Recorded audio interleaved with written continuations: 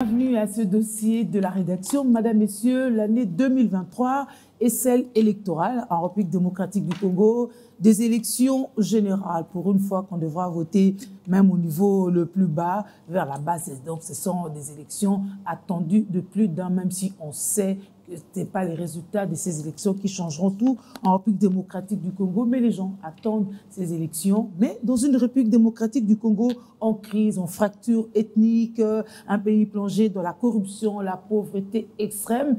Et c'est donc dans ce contexte que Marie-Josée Ifoku brise la glace cette ancienne candidate à la présidentielle au pays parle plutôt d'une proposition de sortie de crise pour un nouveau départ de la République démocratique du Congo. Son appel suppose qu'il n'y ait pas élection tout de suite, mais plutôt une transition de deux ans. Nous en parlons avec elle qui est notre invitée, Madame la présidente nationale de l'Alliance des élus pour un nouveau Congo. Bienvenue à vous. Merci, bonjour Madame Sefou. Alors, j'ai peint tout à l'heure les décors. Il y a de quoi dire que vous voulez ramer à contre-courant. Nous sommes à quelques mois des élections. Bon, c'est pas que je voudrais ramer à contre-courant, mais je me dis tout simplement, euh, il faut être réaliste de fois. Il faut savoir aussi s'arrêter à un moment donné lorsque nous constatons que les choses ne vont pas bien.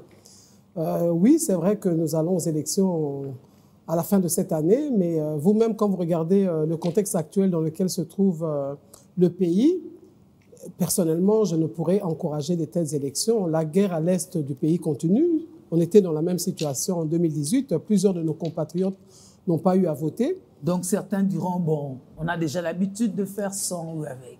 Mais est-ce qu'on peut continuer ou avoir garder des mauvaises habitudes ou bien on peut s'arrêter et les changer? Nous avons le choix. Et c'est ainsi que moi, euh, j'ai réfléchi et je suis venu faire cette proposition pour nous aider tout simplement à mettre les choses au point, des choses que nous n'avons pas eu à mettre euh, au point voilà des années. Mais euh, je me suis dit avec euh, le pouvoir actuel, le régime actuel, il serait possible de pouvoir le faire. C'est ainsi que je fais cette proposition-là au peuple congolais d'abord et ensuite euh, aux politiciens. Je pense que selon nous, nous devrons nous arrêter à un moment donné à cause de la guerre à l'est du pays, les guerres qu'il y a entre les politiciens, la CENI elle-même qui ne semble pas être prête pour pouvoir organiser des élections, euh, la fragilité de l'État. Nous n'avons pas un réel État selon nos- notre constat depuis que nous sommes, euh, nous avons été candidats en 2018. Nous n'avons pas un réel État. Même lorsque j'étais euh, gouverneur euh, à la Tuapa, Voilà. nous avons fait ce constat-là. C'est ainsi que nous disons pourquoi ne pas s'arrêter un petit temps et mettre les choses au point et ainsi nous pourrons aller à des élections crédibles, transparentes et inclusives ou sinon ça devient des, des discours creux. Et pour vous, l'urgence aujourd'hui, c'est d'agir ensemble et de conjuguer des efforts en étant plus unis et mobilisés dans un sursaut patriotique car notre salut ne viendra que de nous-mêmes. Ça se ferait comment Avec tout ce qu'il y a comme fracture? Ben justement, comme vous venez de le dire, euh, si nous continuons avec cet élan-là des élections, la fracture va s'agrandir encore. Et nous, irons, nous aurons une véritable érosion. Et moi, personnellement, je ne le souhaite pas. Comment on peut aller à, à cette transition-là? J'ai pris euh, connaissance des, plusieurs conférences, comme la, la confé- dialogue que nous avons eu auparavant, la conférence nationale euh, souveraine, nous avons eu celle de Sun City, l'accord de Sun City, le dialogue il n'y a pas longtemps ici en 2016, ou bien celle de la Saint-Sylvestre. J'ai vu qu'on est toujours dans des guerres où les politiciens cherchent toujours à, à avoir la part du gâteau. C'est ainsi que la proposition que je fais, cette fois-ci, elle est totalement différente. Pourquoi? Parce que moi, je me dis que euh, allons-y directement en se reposant sur les institutions qui existent déjà. Ah, c'est cela. Donc, durant ces deux ans, vous ne proposiez pas qu'on rentre euh, sur une transition, on va se partager.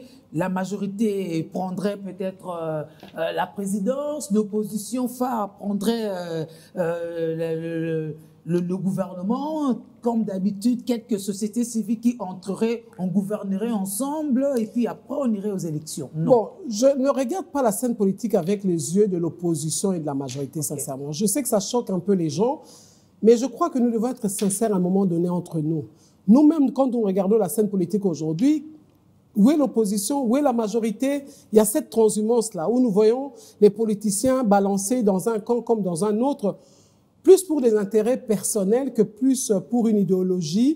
Et alors, c'est pour ça que moi, je ne parle pas de la classe euh, politique en termes d'opposition de majorité, mais tout simplement de la classe politique. Donc, en regardant les institutions telles qu'elles sont là, nous, irons, nous aurons un nouveau gouvernement, bien sûr, mais un gouvernement euh, euh, avec un Premier ministre consensuel. Donc, il peut être de l'opposition, il peut être de la majorité, comme vous le dites, mais selon moi, un politicien, pourquoi pas une personnalité euh, tout simplement de la, du pays qui est consensuel, qui comprend que nous serons dans une transition et la personne ne va pas chercher des tensions ni des guerres, mais doit comprendre que nous sommes en train de construire euh, une nouvelle république, dont nous devons le faire avec euh, cet état d'esprit-là. Et donc voilà, pourquoi je, je voudrais qu'on ait à la quatrième république Pour la simple bonne raison, je l'explique toujours, depuis que nous sommes nés État indépendant du Congo, c'est l'état d'esprit avec lequel nous sommes nés un état d'esprit de prédation, ou des gens qui nous ont mis au monde, parce que nous ne nous sommes pas donné la vie nous-mêmes en tant qu'État. Mm-hmm. C'est après la conférence de souveraine, euh, la, la, conférence euh, de Berlin. de Berlin. Et nous, je ne sais pas si vous vous rendez compte qu'on appartenait à un seul individu qui nous a cédé plus tard à la, à la, à la, à la, à la Belgique. Donc, nous n'étions pas nés de nous-mêmes, voilà. Mhm. Donc, c'était euh, une naissance euh, où nous avons des parents qui abusaient de nous, euh, qui nous violaient, qui nous battaient et qui, qui, qui, prenaient toutes nos richesses. Ça nous a pas empêché de réclamer l'indépendance, disant que nous ferions mieux. Ben exactement, justement. Et quand on a, on a réclamé l'indépendance, on a eu une indépendance sans économie, on a une indépendance, juste une politique, un pouvoir. Et c'est là tout le problème déjà. Et cet état d'esprit avec lequel nous avons connu cette euh, naissance-là s'est perpétué à travers euh, nos dirigeants. Et c'est ainsi que je dis, euh, on a eu une première république qui n'a duré que cinq ans. La deuxième république avec Mobutu, c'était une république faite par un politicien qui a voulu prendre toute la place. Et donc, euh, cette république-là avait été faite pour lui et par lui-même. Nous avons connu la Troisième République, qui était euh, la dernière république dans laquelle nous nous trouvons aujourd'hui. C'est encore une république qui a été faite pour des chefs de guerre. Ils, ils se sont mis ensemble. Nous avons connu euh, le pouvoir 1 plus 4 pour satisfaire tout simplement les égaux de chacun. Et c'est de là qu'est née cette république. Donc, ce n'est pas une république qui a été faite pour des Congolais par des Congolais. C'était une république qui a été faite vaille que vaille, juste pour aller rapidement à des élections, soi-disant démocratiques. Et euh, voilà, nous sommes dans cette euh, constitution aujourd'hui où nous voyons qu'il y a beaucoup de failles. Il y a trop de failles pour la simple et bonne raison que ce n'était pas une, euh, une constitution réfléchie en tenant compte de notre histoire, où nous sommes rendus aujourd'hui et quel est le rêve que nous avons pour le Congo? Quel est le rêve que nous avons réellement? Donc moi, je ne le ressens pas dans cette constitution. Nous, nous voulons une quatrième république. Pourquoi? Parce que ça sera une république à laquelle prendra part la population. Pendant deux ans, nous allons conscientiser, sensibiliser, expliquer au peuple congolais c'est quoi un État, c'est quoi une nation, c'est quoi la démocratie, c'est quoi les élections? Donc petit à petit, la population va s'en approprier, va comprendre c'est quoi la Constitution, ben, c'est notre Bible pour gérer le pays. Et c'est quoi euh, euh, euh, toutes ces institutions qui sont mises en place. Vous voyez, une fois que le peuple est sensibilisé, il est conscientisé, c'est clair qu'il va s'approprier cette constitution, cette nouvelle constitution. Et donc, ça nous permet d'aller dans une république, une république à laquelle nous nous aurons donné naissance par des Congolais et pour des Congolais. Qui va conscientiser qui? Ben, ben déjà, nous, il y a beaucoup de gens qui nous ressemblent, euh, euh, que ce soit dans la, dans, la, dans, dans la politique ou bien monsieur, madame, tout le monde. Moi, j'ai discuté avec plusieurs personnes très intéressantes qui ne veulent pas entrer en politique pour la simple et bonne raison que c'est un monde un peu trop brutal, c'est un monde d'intérêt, de vol, de détournement, de tuerie, de tout ce que vous voulez. Tous ces gens-là existent. Et nous, dans notre proposition, nous avons ouvert la porte pour que ces gens entrent et que nous puissions réfléchir ensemble et que nous puissions faire des bonnes propositions pour une nouvelle République. Ils sont nombreux. Quand vous avez parlé de la Constitution, ça m'a renvoyé à l'esprit l'idée d'un référendum, parce que comment on ferait avec une Constitution actuelle? Ben, C'est clair qu'on ira à un référendum. Donc, je vous, je vous explique. Euh, c'est une proposition que nous sommes en train de faire. Nous sommes en train de conscientiser la classe politique, nous sommes en train de parler à la société civile, aux confessions religieuses, à toutes les représentants de, euh, euh, de la population congolaise. Nous sommes en train de les conscientiser pour leur faire comprendre l'intérêt de cette quatrième république-là. Une fois que tout le monde mort à cette, euh, euh, prend conscience ou accepte cette proposition-là, c'est là que nous créons un nouveau gouvernement. Nous allons avoir un nouveau gouvernement, donc nous allons déclarer que nous allons à une transition. Donc nous, mais nous allons une transition en respectant les institutions qui sont en place. Et donc, nous aurons le grand changement, ça sera le nouveau euh, gouvernement et quelques nouvelles nominations où nous allons mettre les bonnes personnes au bon endroit. les bonnes personnes au bon endroit lorsqu'on sait qu'accéder au pouvoir en RDC, il faut forcément faire partie d'une plateforme, d'un regroupement, d'un parti politique. Les autres experts qu'ils soient, on a aussi une expérience malheureuse avec. Non, mais justement, ça, c'est lorsque euh, un parti euh, prend le pouvoir ou un régime prend le pouvoir. Alors là, il nomme ceux qui sont autour de lui. Mais moi, ce n'est pas de ça que je parle. Moi, je vous dis que c'est une proposition, ça sera une transition. Et dans cette transition-là, nous allons créer deux, euh, deux, deux nouvelles structures. Donc, il y aura une commission constituante. C'est ce groupe-là qui va réfléchir sur la nouvelle constitution. Elle sera, il y aura comme représentants dans cette commission-là la société civile, bien sûr, les politiciens, les partis politiques, bien sûr, euh, les scientifiques, la jeunesse, euh, nos, chefs traditionnels, donc les femmes. On a ouvert la porte à tout le monde, à, à des hautes personnalités qui sont dans le pays, même des hommes d'affaires. Donc tout le monde va se retrouver dans cette commission-là constituante qui va réfléchir sur la nouvelle constitution, qui va faire des propositions.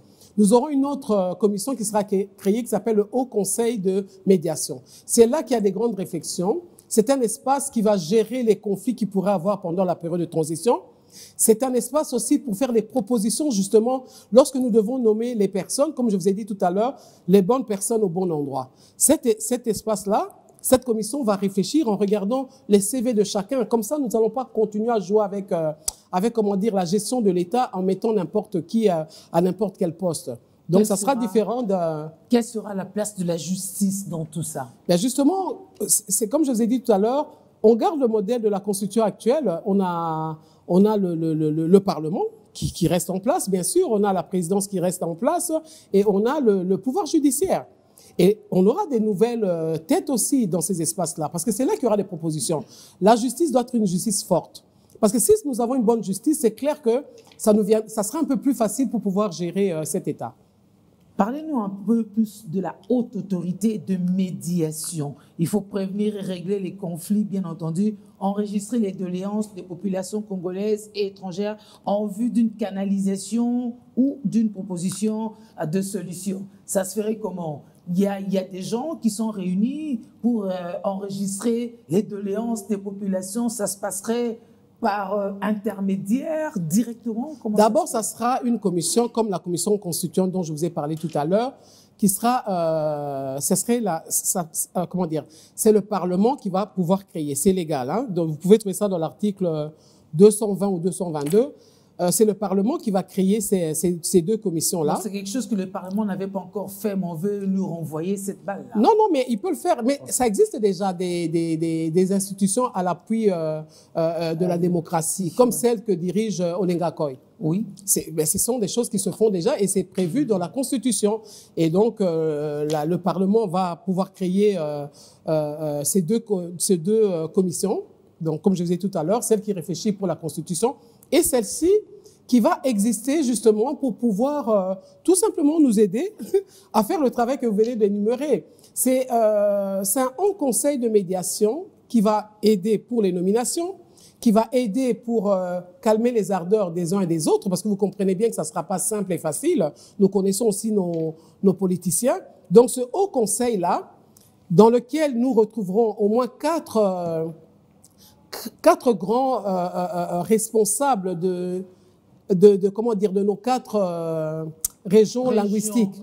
Donc, les Bangala, ouais. les, euh, les Baluba, mmh. les, comment on appelle, les Bakongo et les Swahili. Donc, on aura au moins quatre représentants. Et mmh. ça sera proposé par, par eux-mêmes pour dire qui peut nous représenter dans cette, euh, dans cette grande structure. Parce que ce sera vraiment une très, très grande structure qui aura un grand rôle à jouer. Et ces personnalités-là pourront être présent, proposées par euh, la communauté elle-même. Et une fois qu'elle est constituée, donc il y aura d'autres personnalités qui feront partie de, cette, euh, de cet espace-là et qui feront le travail, comme je viens de vous le dire, de proposition de, de, nomination, de, de, prévenir les problèmes qui pourraient avoir entre, euh, entre euh, politiciens dans la gestion de cette transition-là. Et donc voilà, ce sera fait de cette manière-là. Donc il y a d'abord la création et puis il y a la nomination de toutes ces personnalités-là. Le consensus, c'est le mot qui tue la République démocratique du Congo. Avoir ces quatre représentants selon les zones linguistiques, il faut qu'il requiert le consensus. On n'y arrivera jamais. Je suis parfaitement d'accord avec vous qu'on a toujours un souci de consensus. Mais à un moment donné, il faut nous mettre, à, il faut mettre les gens en face de leurs responsabilités.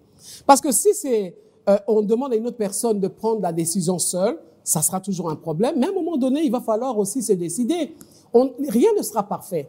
On ne pourra jamais se mettre d'accord à 100%. Mais nous devons rechercher la majorité. Une fois qu'on a cette majorité-là qui accepte que cette personnalité-là passe, on avance. On ne pourra pas plaire à tout le monde. Mais recherchons au moins que cette majorité-là puisse accepter la nomination de ces personnalités à ce poste-là.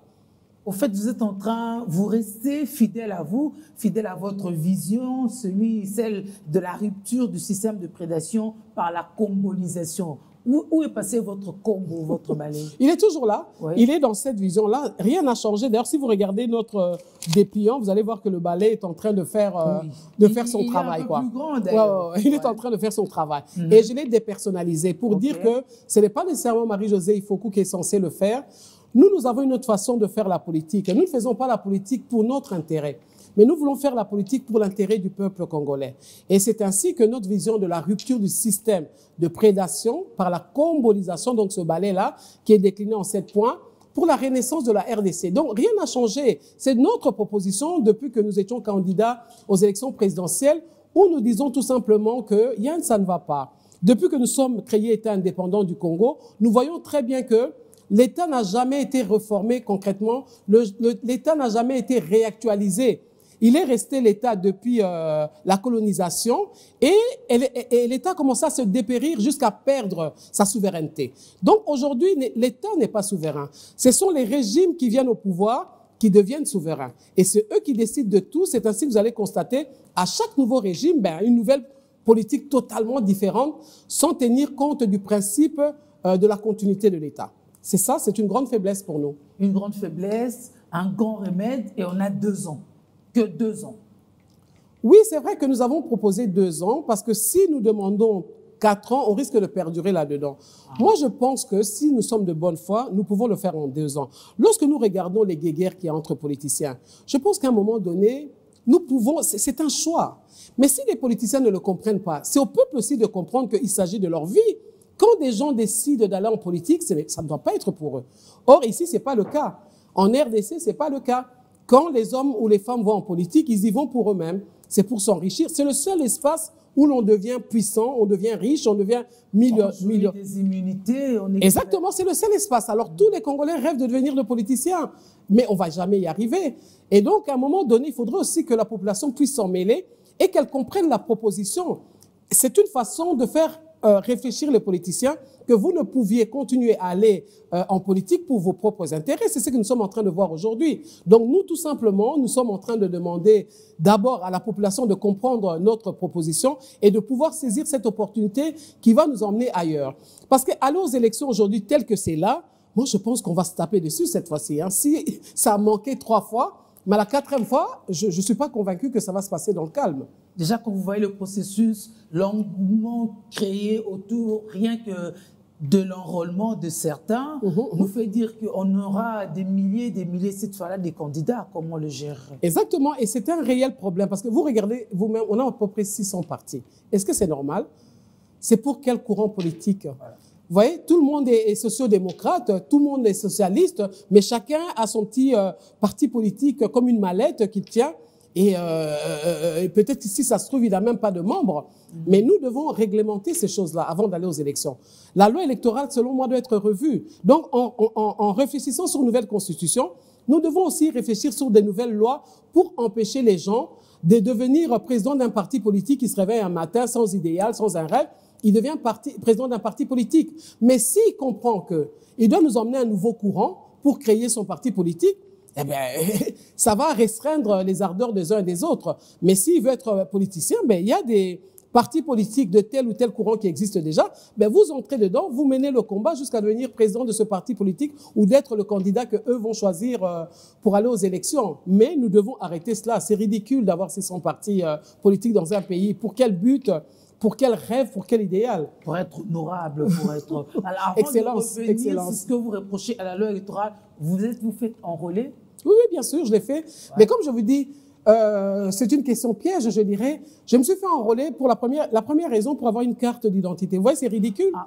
Ridicule. Mhm. Je n'ai pas fait de bruit, vous m'avez pas vu dans les médias. C'est ça. Mais comme ça me sert de carte de- de- de- d'identité, vous voyez, c'est très grave. Mais le NIP s'occuperait de la carte d'identité au À moment quel opportun. moment, au moment opportun, mais ça fait Et- combien d'années si qu'on est dans cette situation-là? une transition de deux ans, donc les cartes d'identité pourraient venir après justement. Non, non, non, pendant cette, en une année, on peut les avoir. En une année, on peut faire, euh, euh, euh, comment on appelle ça? En une année, on peut... on- Le on- recensement. le recensement, voilà, c'est le mot que je cherchais. On peut faire le recensement en une année et avoir, savoir combien de Con- Congolais y a-t-il, reconnaître les vrais et les faux Congolais, parce que nous avons des vrais et des faux.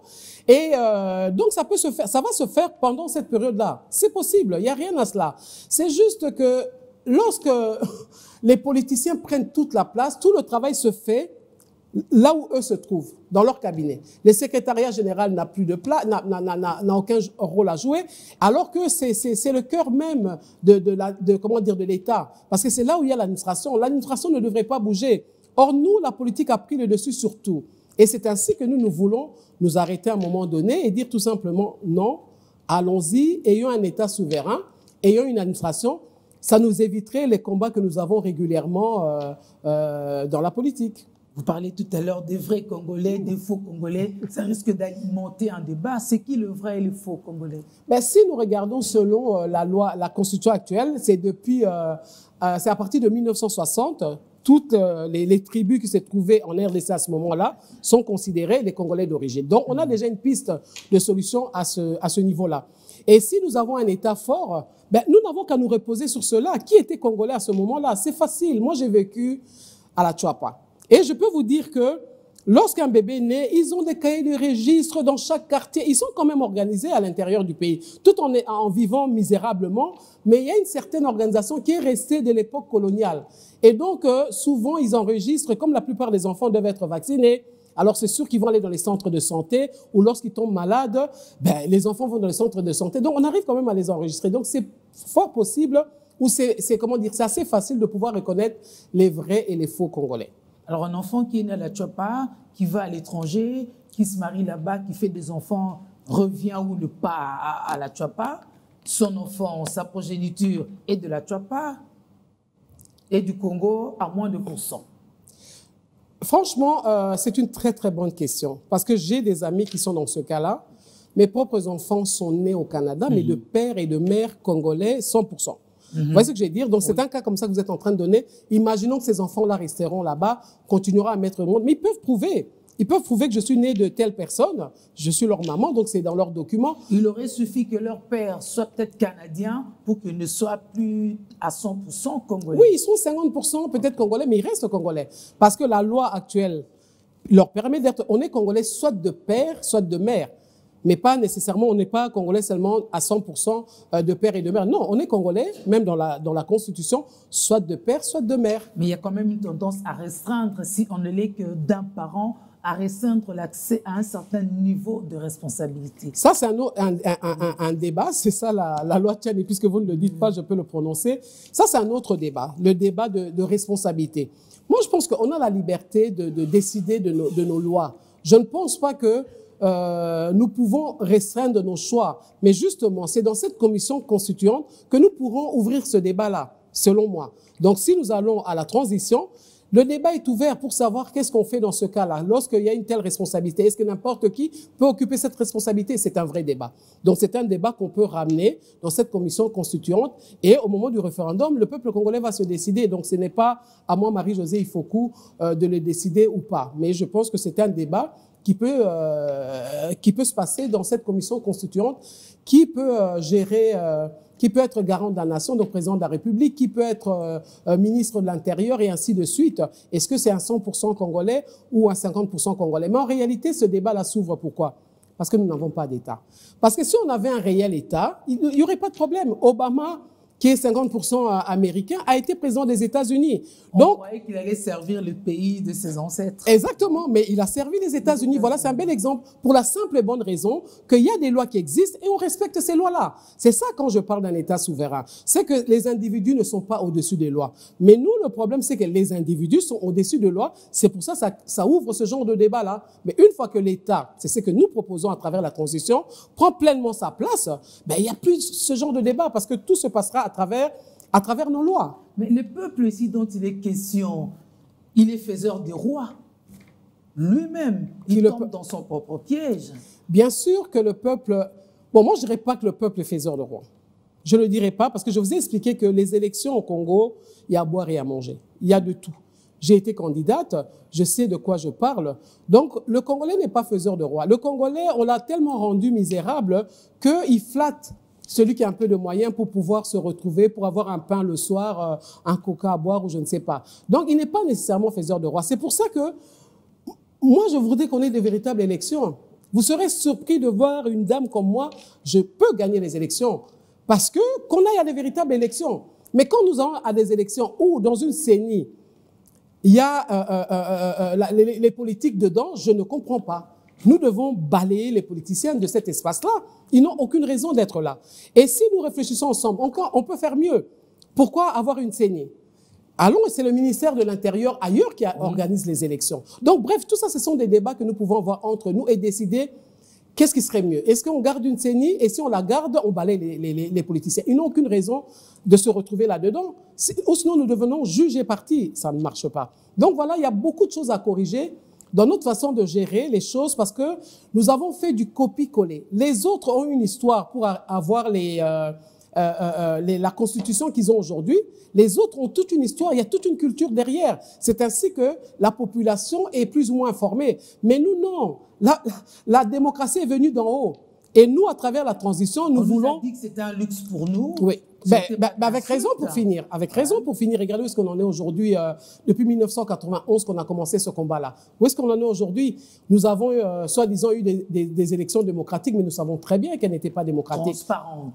En plus. Donc vous comprenez que si nous allons à cette transition-là, le peuple maintenant va comprendre quel est son pouvoir, quel est son droit, quel est son rôle. C'est ainsi que lorsqu'il y aura une élection et qu'un président passe, pendant cinq ans ou quatre ans, ça dépend de ce que nous allons décider, mm -hmm. nous ne sommes pas satisfaits. Ans, 8 ans. Oui, oui, oui, exactement. C'est à nous ouais, de décider. Ouais. Et si nous ne sommes pas satisfaits, on balaye cela et nous venons à d'autres, euh, euh, comment dire, à d'autres candidats que nous allons choisir. Donc c'est vraiment important que cette démocratie devienne réelle. Mais nous pourrons aussi l'adapter à nos réalités, à notre culture. Nous pouvons l'adapter. Nous ne sommes pas obligés de faire exactement comme ailleurs. Parce que nous avons vu aussi qu'il y a des ratés chez eux. Moi, ce qui m'offusque, hein, je voudrais, euh, vous ne m'avez pas posé la question directement, mais je vous le dis, mmh. quand je vois les ambassadeurs aller voir, euh, rencontrer le président de l'Assemblée nationale par rapport à une proposition de loi, je mmh. n'ai pas dit que je suis pour ou contre, le débat n'est pas encore celui-là pour moi, okay. ça me choque. Aujourd'hui, nous voyons en France, il y a cette loi-là qui voudrait voter sur la retraite. Quel ambassadeur? La Chine, la Russie s'est levée pour aller voir euh, le président de l'Assemblée nationale pour leur dire ah non, ne faites pas passer cette loi-là parce que c'est ça. Non, ils ne l'ont pas fait pour la simple Nous et bonne raison. des bébés, il faut Exactement, exactement. Et même exactement. Moment, le moyen vient d'ailleurs. Exactement, et c'est ça le problème. Même le pouvoir. Oui, exactement, exactement. C'est ça le vrai problème. Donc, euh, nous, nous proposons, nous proposons cette transition-là pour faire asseoir le pouvoir. Parce que si nous ne le comprenons pas, à un moment donné, avec toutes les richesses que nous avons, si nous ne le comprenons pas, ben, les autres qui sont en train de réfléchir à notre place, ils ont une longueur d'avance. Hein. Ils ont une longueur d'avance. Parce que le combat, la guerre que nous avons à l'est du pays n'a pas commencé aujourd'hui. Ça a commencé du temps de Mobutu. Et comme Mobutu ne voulait pas quitter le pouvoir, ben, il fallait un coup d'État. On a utilisé un pays voisin pour euh, pénétrer la RDC et voilà où nous en sommes aujourd'hui. Tout ça parce qu'il n'y a pas d'État. Il n'y a qu'un pouvoir fort, un homme qui est fort. Et voilà, jusqu'à aujourd'hui, 30 ans plus tard, nous en sommes encore là. Et c'est ça notre combat. Nous voulons un État souverain, un, un véritable État, un État de droit, mais pas un discours. Nous pouvons le faire, c'est encore possible. La guerre, ce n'est plus qu'à l'Est, il y a aussi la guerre à Kwamout et, même euh, l'insécurité un peu partout. Oui, même au Katanga, on le voit aujourd'hui. Voilà, la RDC est en train de vouloir euh, évaluer le contenu de l'accord de l'EAC. En tant que patriote, c'est quoi C'est exactement ça. Je, merci pour euh, ces, ces, ces questions pertinentes. Tout ça, nous trouvons, les gens trouvent la faiblesse en nous à cause de, de, cette absence d'État. C'est ça le problème. Parce que s'il y avait un réel État, je vous assure que ils ne vont pas se permettre d'entrer chez nous comme ils veulent. Ils ne vont pas se permettre de, de comment dire, de nous imposer euh, exemple, il y a les élections en 2023, vous n'avez pas le choix, vous allez aux élections, mais on est libre après tout. Mais on ne l'est pas quelque part pour la simple et bonne raison, nous ne nous respectons pas. L'effet que nous ne nous respectons pas permet aux autres de s'immiscer dans nos affaires intérieures. Mais si nous avons un véritable État et que la loi ne se trouve plus au-dessus, euh, en dessous des hommes, vous allez voir que on va nous traiter différemment parce que en réalité, nous allons nous respecter. Donc, c'est vraiment important que le Congolais puisse comprendre cette proposition-là elle est totalement différente d'un glissement. Parce qu'un glissement, la proposition viendrait du pouvoir. Ah oui, ça, je n'osais pas poser la question. je sais. Pas un glissement. Je, le sais, mais si mhm. les gens me suivent depuis le début, vous pouvez réécouter mes messages. Mon message n'a pas changé. Quand je vous dis déjà le nom du parti, Alliance des élites pour un nouveau Congo. Mhm. Donc, on est toujours dans le même état d'esprit. Le, euh, la rupture du système de prédation par la combolisation pour la renaissance de la RDC. Donc, nous, dans notre état d'esprit, nous disons que nous devons aller à une nouvelle république. En réalité, nous avons pris le modèle chrétien. Il y a eu une première naissance qui a échoué. Alors allons-y à la deuxième naissance, une naissance qui, va nous, qui nous fait prendre conscience qui nous sommes d'abord. Parce que le Congolais aujourd'hui n'a pas de repère. Les Congolais aujourd'hui euh, ne sait même pas où il va. Les Congolais aujourd'hui ne comprennent pas qu'il est assis sur, euh, sur une richesse extraordinaire. Mais le Congolais meurt de faim. Donc c'est quand même inacceptable. Je souhaiterais que le peuple puisse comprendre ma proposition parce qu'elle va servir à tout le monde. Elle va servir au peuple congolais et à tous les politiciens, que ce soit ceux qui se considèrent de l'opposition aujourd'hui, hein, je dis bien ceux qui se considèrent et ceux qui se considèrent de la majorité. Parce que pour vous, c'est le peuple. Vous faites bien de rappeler que ceci fait partie de votre vision. On va revenir sur ce que vous disiez, ça va faire déjà trois ans pour justement confirmer que vous êtes resté intact dans votre façon de voir les choses, dans votre vision. Dans une journée pleine d'activités, la présidente du parti politique Alliance des nouveaux élites du Congo AENC a organisé un point de presse ce mardi 21 mars. Dans son allocution, Marie-Josée Ifoku a proposé un plan de sortie de crise vu l'instabilité qui sévit dans certaines institutions de la République démocratique du Congo. Que nous puissions nous poser des bonnes questions, que nous puissions nous mettre tous ensemble pour aller à une transition de deux ans afin de donner, de donner naissance à une nouvelle république, celle que j'appelle la quatrième république. La république qui a quatre pieds. C'est à ça que j'ai fait appel ce matin, parce que nous voyons bien que ça ne va pas. Une vision à dimension sociale et politique pour répondre aux enjeux actuels tels que la crise politique et sécuritaire persistante au pays que propose Marie-Josée Ifoku. La guerre à l'Est continue, ça fait plus de deux décennies, donc nous ne pouvons pas aller aux élections avec euh, cette situation-là. Euh, le dysfonctionnement de, l'État, a un, ça ne va pas, nous tous nous le savons très bien. Euh, les tensions qu'il y a entre politiciens, alors que nous nous sommes rendus compte qu'il n'y a ni opposition ni majorité, c'est tous des politiciens, nous sommes tous des politiciens. Et si nous avons été capables de nous battre pour des intérêts personnels, nous invitons les politiciens à pouvoir se battre pour toute la population congolaise, à se battre pour protéger le Congo. Dans ce contexte, elle recommande une transition de deux ans présidée par le chef de l'État Félix-Antoine Tshisekedi. Avec un courage et une volonté, Marie-Josée Ifoku croit que la RDC peut survivre et se développer au milieu de tous les défis et problèmes auxquels elle est confrontée quotidiennement. Voilà, heureusement que c'était sur Biwan, comme ça on sait que c'est intact. Mais alors, euh, cette renaissance-là aurait déjà dû partir de la rupture entre le FCC et Cash, déjà, on ah, avait raté J'aime cette question-là, parce que c'est exactement ça. Nous, nous avons milité justement pour qu'il y ait ce divorce-là. Ah, Selon oui. Nous, oui, oui, oui, nous avons milité, il y a eu des pétitions. les agents. on, a mené ce ah, combat-là pour qu'il puisse avoir divorce. Parce que, selon ma compréhension des choses, cette passation pacifique, pour moi, était extraordinaire. Mais je voyais plus loin.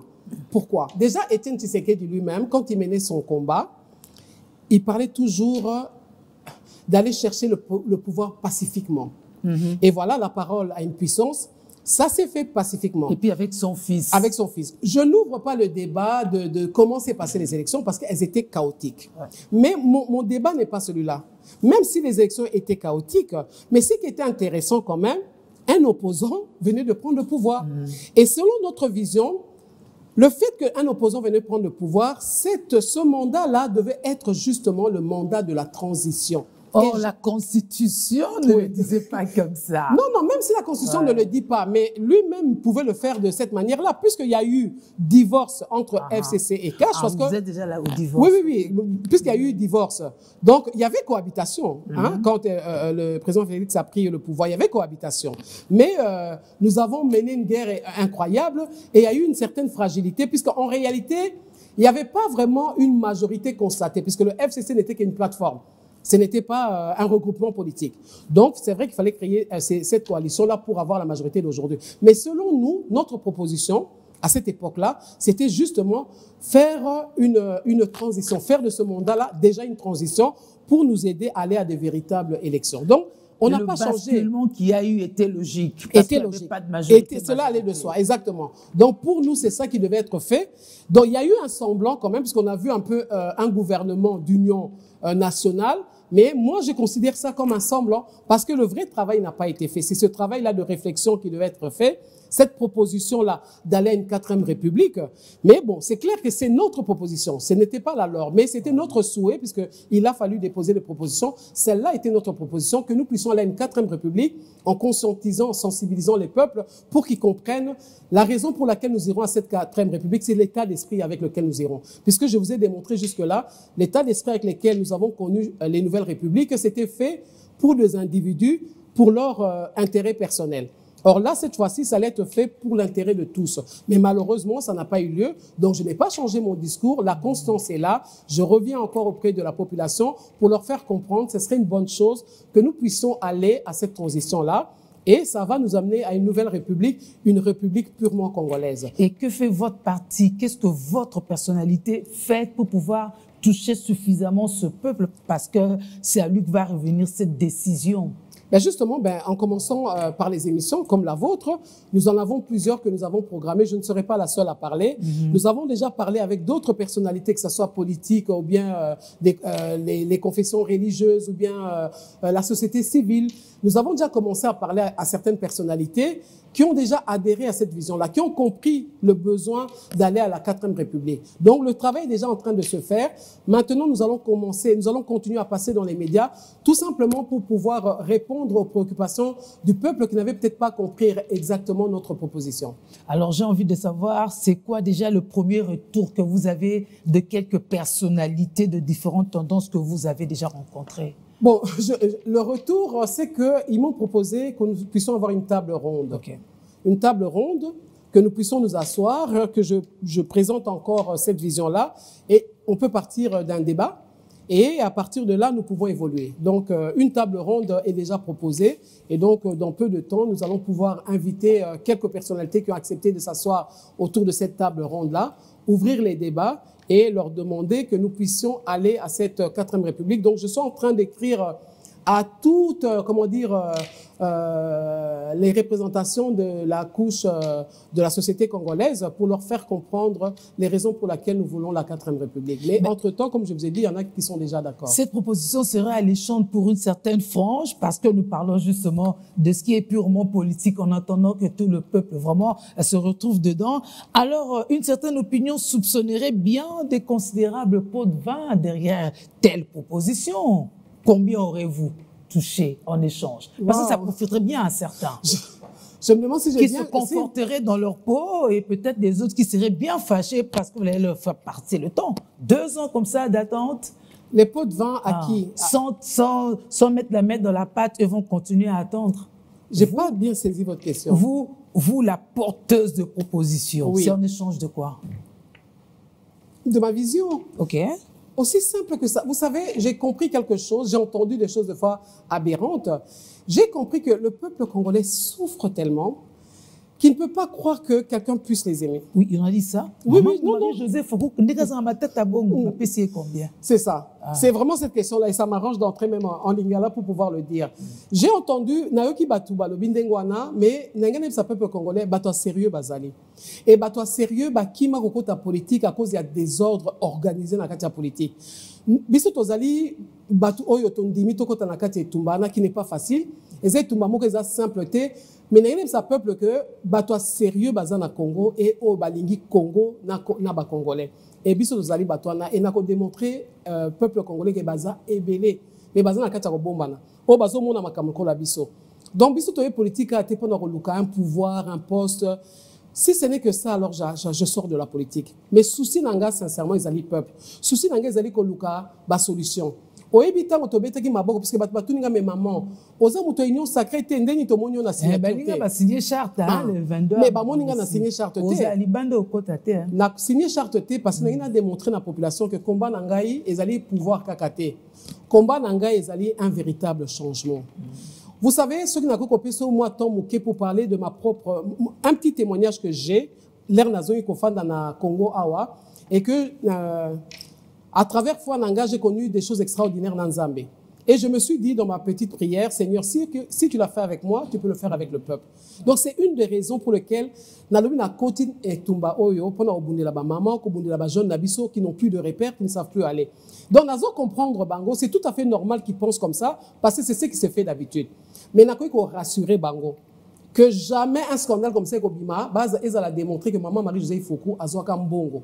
Natika kozwa mbongo mutu te. mais parce que bambongo mpe ezalaka eza hein, mère bambongo ezalaka bainvisible donc c'est sans trace on prend seulement et puis voilà Non, je- mais ayez vos apaisements Non, non, à comprendre. C'est- J'ai bien dit, ça tout à fait normal que Batouba kanisa boye. Mais au moins constance ya mutu. Ouais. Na démontré yo constance na ngai na banda ko banda kala. Tout le monde balobaka ah mais maman il faut qu'il fasse la ministre, maman il faut la ministre et je peux vous rassurer que si on est la ministre, on est ministre. Mais combat na ngai ezate na za ministre. Combat na ngai na lingi changement. Et c'est ça point barre à la ligne. Parce que pour ngai c'est scandaleux d'avoir un peuple aussi riche mais même manger trois fois par jour ça devient un luxe. Mais pour ngai c'est inadmissible. Et donc, je dis tout simplement aux Congolais, sachez qu'il y a des gens qui ne se sont pas manifestés, mais à travers moi, Bazo s'est manifesté pour vous dire que nous vous aimons. C'est pour ça que nous avons mené combat. Ce serait quoi votre rôle dans cette transition de deux ans? Vous serez prête à soutenir vos idées, la partager avec les autres? Vous serez prête à confier le projet et vous regarder par patriotisme Ça se passerait comment? D'abord, pour moi, c'est une proposition que je fais à tout le monde. Et je dois vous dire que je ne me suis pas donné une place quelconque.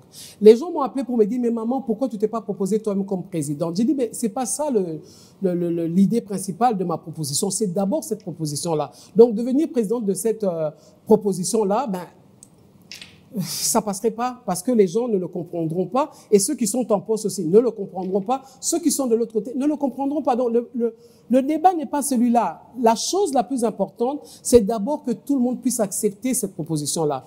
Et si je devais faire un choix, je, je, je, je, souhaiterais être dans le haut euh, conseil de médiation. Ouais. Oui, je, je souhaiterais. Parce que c'est là que les choses se régulent, c'est là que nous poussons, ou bien tout simplement dans la proposition, dans la commission, euh, comment vous appelez ça? L'autre commission. la commission constituante. Constituante. Donc, peu importe. Ce que je voudrais qu'on puisse retenir, ce n'est pas vraiment la position que Marie-Josée Foucault va occuper. Ce qui est important, c'est que nous avons fait une proposition, nous pouvons ne pas participer, mais que les gens puissent respecter au moins notre proposition. Parce que nous l'avons déjà fait avant, et ce n'est pas totalement pris en compte. C'est pris en compte en une partie, mais ce n'est pas totalement pris en compte. Donc nous serons là, même si nous sommes à l'extérieur, nous allons continuer à sensibiliser le peuple congolais pour dire, ah, ah, c'était pas ça qui était prévu. Nous, nous avons prévu ci, nous, nous avons prévu cela. Donc bref, pour répondre à votre question, sincèrement, ce n'est pas ça le plus important, que j'ai une place là-dedans. Parce que si je suis dehors, ça m'aiderait toujours à pouvoir recadrer. Et si je suis à l'intérieur, je vais continuer à faire, euh, à mener mon combat. Alors adressez-vous à la population qui vous suit en général et aussi en particulier à des acteurs politiques parce qu'on est à la fin.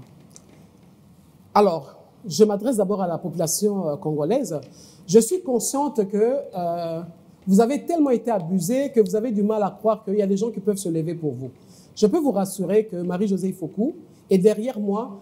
Il y a plusieurs personnes que vous allez découvrir qui se sont levées aussi en, en- en croyant à cette vision-là pour, euh, pour vous faire du bien, pour vous montrer euh, euh, leur amour en ayant un État, un véritable État, un État souverain et euh, un État qui justement va pouvoir gérer les richesses du Congo de manière juste, de manière à ce que vous, la population congolaise, vous puissiez en jouir. Je m'adresse à la classe politique parce que la classe politique, c'est elle le véritable problème. Je voudrais tout simplement dire à la classe politique, je pense qu'aujourd'hui nous avons démontré à la population, je parle de nous tous, puisque moi aussi je suis politicienne pour que personne ne se sente euh, insulté, que nous ne cessons d'aller dans ce jeu-là. Euh, quand on parle de la transhumance, ça devient purement euh, congolais. Donc nous, nous passons d'un point, comment dire, d'une plateforme à une autre juste pour des intérêts personnels. Alors si nous avons été capables de le faire pour nous, je demande que cette fois-ci, que nous puissions le faire pour le peuple congolais. C'est possible, on peut le faire. Parce qu'à un moment donné, il faut aimer son peuple. Parce que si nous ne le faisons pas, parce que nous sommes les responsables de cette population-là, nous risquons de perdre notre pays. Parce que nous sommes un pays d'enjeux mondiaux et apparemment, nous ne semblons pas en être conscients. Et euh, je voudrais m'adresser aussi à la, à la société civile qui joue un très très très grand rôle. Et c'est la société civile devrait jouer ce rôle-là de médiation. Nous aider n'est pas être dans un camp ou dans l'autre camp, mais comprendre que la société civile peut prendre, peut jouer un grand rôle dans notre proposition parce qu'elle pourra vraiment aider à planir puisqu'elle n'a aucun intérêt euh, euh, politique. Et je m'adresse aussi à la jeunesse. La jeunesse doit comprendre que c'est d'elle qu'on parle en fin de compte. C'est le futur du pays, le lendemain du pays. Et nous savons tous que cette jeunesse, elle est perdue totalement parce qu'elle n'a plus de repères. Mais cette jeunesse, si elle comprend notre proposition de la transition pour aller à la quatrième république, elle aura une place. Parce que nous lui avons réservé une place dans les prochaines, euh, euh, dans les prochaines structures et ainsi, elle pourra nous proposer aussi qu'est-ce qu'elle voudrait de la, de la République démocratique du Congo. Les femmes, les femmes, je voudrais demander aux femmes, on parle de la parité à l'article 14, mais est-ce que nous jouissons de cette parité-là? Nous ne devons pas regarder que le gouvernement. Est-ce que dans toutes les structures de l'État, la femme a une place? Je ne pense pas. Et donc la femme aussi devrait se saisir de cette proposition-là parce que cette fois-ci, elle pourra jouer son rôle. Cette fois-ci, elle va exiger ses 50% et elle l'aura parce que tout le monde pourra, pourra se retrouver. Et je m'adresse au président de la République et le garant de la nation. Je voudrais tout simplement dire au président Félix Tshisekedi que lorsque la, Troisième République est née, L'UDPS ne voulait pas de cette République-là. L'UDPS a combattu la Troisième République. Et si nous regardons aujourd'hui ce qui se passe, l'UDPS a bien aidé pour détruire cette Troisième République. Donc c'est une raison pour elle de comprendre que c'est une opportunité, une véritable opportunité pour marquer l'histoire du pays, qu'ensemble, puisque si le président accepte ma proposition, du coup, je pense que l'opposition n'en fera pas un problème. Ensemble, nous pouvons construire un nouvel État, un État souverain ainsi, nous n'aurons plus de visiteurs qui viendront nous dire comment gérer notre pays. Donc voilà, c'est ça euh, ma proposition. Voilà, ça se passe de tout commentaire parce que l'appel a été lancé à tous les camps. Chacun se sent concerné. Merci pour votre plan de sortie pour la quatrième République, pour la renaissance du Congo. C'est ça l'appel de Marie-Josée Ifoku en tant que patriote, en tant que politicienne aussi. Merci. Merci à vous. et, et bon succès parce qu'il faut vulgariser, continuer à sensibiliser. Vous serez toujours la bienvenue à la maison. Merci sincèrement. Voilà, c'était le dossier de la rédaction. Madame, Monsieur, à nous tous de faire notre cette proposition pour voir dans quelle mesure elle aide réellement la République démocratique du Congo à devenir souveraine et moins dépendante des autres, surtout de l'extérieur. Au revoir.